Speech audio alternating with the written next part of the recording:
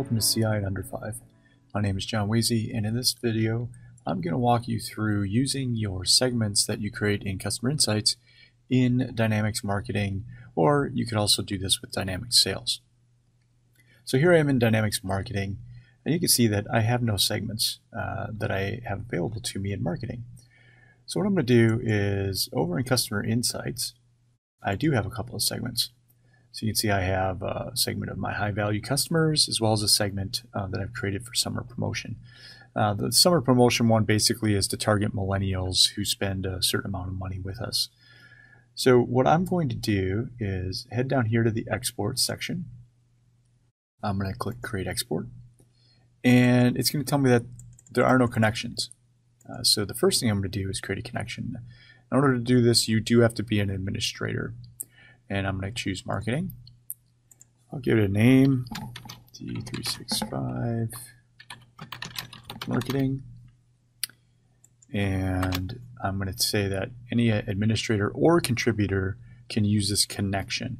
So now there's two pieces to an export. There's the connection, uh, which is the connection between customer insights and the destination. And then there's the export setup.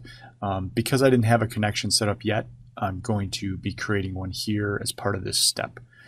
This could be done separately by an administrator. Um, I do need to give it my org, so I'm going to pop back over and grab my org name. There we go. I'll have to sign in and I will pick my account that will access that Dynamics instance. It has to be an administration administrator account. Click Save. So that's the connection part. That can be done separately. Now we're doing the export part. Um, so in the export part, you pick your connection, give it a name. Then you have to tell it which field in your customer insights data is the ID that is used inside Dynamics.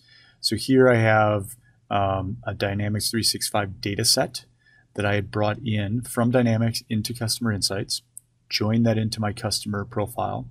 And this contact ID is the GUID that Dynamics has. Um, we need that connection when we export for Dynamics to be able to go through the list and find the people that it knows about. I'm going to pick both of them. Uh, I could just pick the one that I want uh, and, and go from there, but I'm going to pick both in this case. And now that has set up the export. I mentioned the connection. If I go over to connections and click on exports, you'll see that here's the connection that was created by the um, by me as part of that setup. You could create one here individually uh, if you're an admin and you want somebody else to set up the export. Let's go back to exports and I'm going to click run all. And what that's going to do is actually go out, process, grab the segment that we created and push that over into Dynamics for us to use. So we'll give that a minute and when that's done, I'll be back. Okay, we're back. As you can see, that just took a couple of minutes down here. It's four minutes. It's cut off there, but um, or refresh three minutes ago, I guess, really. So you notice it completed with warnings. It's just because I have a rather small data set. Um, so I only have about a thousand, a couple, about 2,000 customers in my profiles.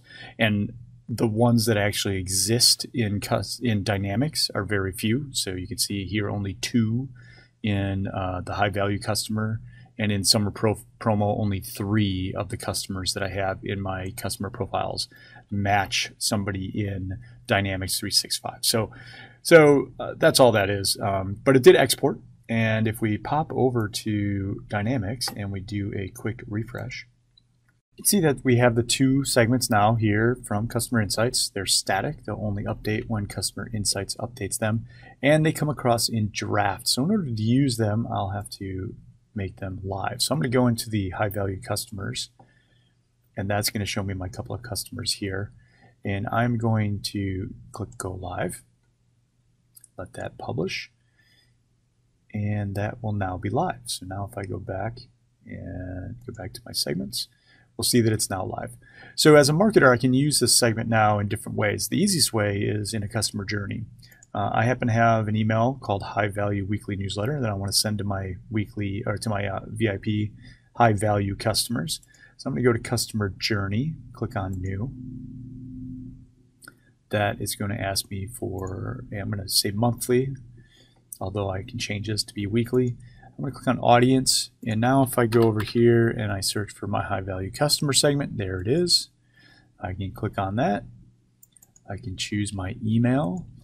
So again, I can look at my high value weekly newsletter and I can fill out all the information that's needed and go ahead and send this off. And then I can do all those things that uh, you can do with customer journeys and marketing. So that's how you export from customer insights your segments into marketing, or as I said at the beginning, you could also do this to sales if you were looking to do this with sales.